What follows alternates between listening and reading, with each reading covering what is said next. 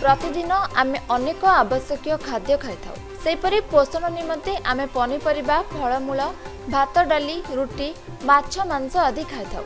କିଛି ଜିନିଷକୁ କଞ୍ଚା ଖାଉଥିବା ବେଳେ ଅନେକ କିଛି ଖାଦ୍ୟ ପଦାର୍ଥକୁ ଆମେ ରୋଷେଇ କରି ଖାଇଥାନ୍ତି। ତେବେ ରୋଷେଇ କଲାବେଳେ ସାଧାରଣତଃ ଆମେ ବିଭିନ୍ନ ପ୍ରକାର ମସଲା ବ୍ୟବହାର କରିଥାନ୍ତି। ଖାଦ୍ୟ ପ୍ରସ୍ତୁତିରେ ଆମକୁ ପିଆଜର ଆବଶ୍ୟକତା ରହିଥାଏ। ବିନା ପିଆଜରେ କୌଣସି ତରକାରୀ ରାନ୍ଧିଲେ ତାହା ଏତେଟା ସ୍ୱାଦିଷ୍ଟ ଲାଗେ ନାହିଁ। ଭାରତୀୟମାନେ ପିଆଜକୁ ପ୍ରାୟ ତରକାରୀରେ ବ୍ୟବହାର କରିଥାନ୍ତି। ପିଆଜର ଉପକାରିତା ବିଷୟରେ ଆମେ ସମସ୍ତେ ଜାଣିଛୁ।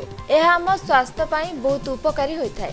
ମଣିଷ ଶରୀରରେ ରକ୍ତ ସଞ୍ଚାଳନ ଓ ହୃତ୍ପିଣ୍ଡକୁ ସତେଜ ରଖିବା ସହ ହଜମ ପ୍ରକ୍ରିୟାରେ ମଧ୍ୟ ଏହା ସାହାଯ୍ୟ କରେ।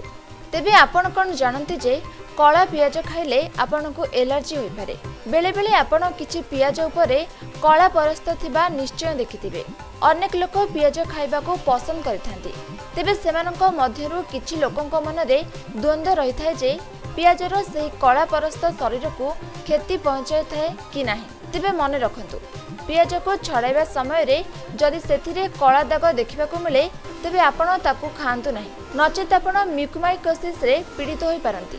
ସାଧାରଣତଃ ପିଆଜରେ ମିଳୁଥିବା ଏହି କଳା ଦାଗକୁ ଆସ୍ପଟିଲସ୍ ନାଇଜର ବୋଲି କୁହାଯାଏ। ଏପରି କେବଳ ମାଟିରେ ମିଳିଥାଏ କିନ୍ତୁ ଏ କଳା ଦାଗ ମ୍ୟୁକମାଇକୋସିସ୍ ନୁହେଁ। ଏକ ଅନୁସନ୍ଧାନରୁ ଜଣାଯାଇଛି ଯେ ଏହି କଳା ଦାଗ ଏକ ପ୍ରକାର ବିଷାକ୍ତ ପଦାର୍ଥ ନିର୍ଗତ କରେ। ଏହା ଜୀବନ ପ୍ରତି ବିପଜ୍ଜନକ ହୋଇନଥିଲେ ମଧ୍ୟ ଏହାଦ୍ୱାରା ଏଲର୍ଜି ସୃଷ୍ଟି ହୁଏ ବୋଲି କୁହାଯାଏ। ବିଶେଷ କରି ଯେଉଁମାନଙ୍କର ପୂର୍ବରୁ ଏଲର୍ଜି ଅଛି ସେମାନେ ଏହି କଳାପରସ୍ତ ଥିବା ପିଆଜଠାରୁ ଦୂରେଇ ରହିବା ଦରକାର। ଏହା ଖାଇବା ଦ୍ୱାରା ଶ୍ୱାସ ରୋଗରେ ପୀଡ଼ିତ ଥିବା ଲୋକମାନେ ଅଧିକ ପ୍ରଭାବିତ ହୋଇପାରନ୍ତି। ତେଣୁ କଳାପରସ୍ତ ଥିବା ପିଆଜଠାରୁ ଦୂରେଇ ରହିବା ଭଲ। କିନ୍ତୁ କଳାପରସ୍ତକୁ ହଟାଇବା ପରେ ସେହି ପିଆଜକୁ ଆପଣ ବ୍ୟବହାର କରିପାରିବେ।